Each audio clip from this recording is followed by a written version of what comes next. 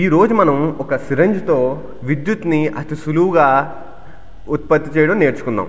దీని కొరకు సన్నని ఇన్సులేటెడ్ కాపర్ వైర్ బలమైన అయస్కాంతం ఒక సిరంజు కావాలి.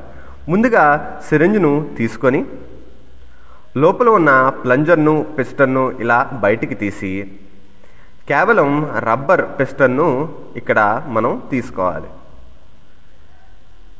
సిరంజు లోపల రెండు బలమైన అయస్కాంతాలను ఇలా పెట్టి రబ్బర్ పిస్టన్తో ఇలాగా సీల్ చేయాలి. లోపల మీరు అయస్కాంతాలు ఇలా తిరగడం చూడొచ్చు. సిరంజు పైన సన్నని ఇన్సులేటెడ్ కాపర్ వైర్ని ఐదు వందల సార్లు ఇలా చుట్టి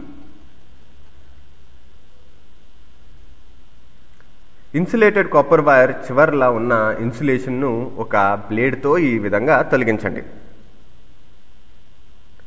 ఈ చివరలను ఒక ఎల్ఈడికి ఈ విధంగా కనెక్ట్ చేయండి.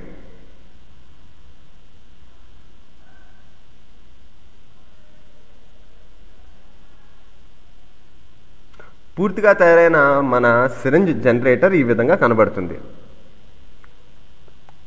ఇప్పుడు సిరంజ్ని ఇలా వేళ్ళ మధ్యన తీసుకొని ఇలా ఊపడంతో కాపర్ వైర్లో విద్యుత్తు ఉత్పత్తి అయ్యి ఎల్ఈడి ఇలా వెలగడం మనం చూడొచ్చు. ఈ విధంగా ఒక పవర్ జనరేటర్ని అతి సులువుగా మనం ఇంట్లో తయారు చేసుకోవచ్చు.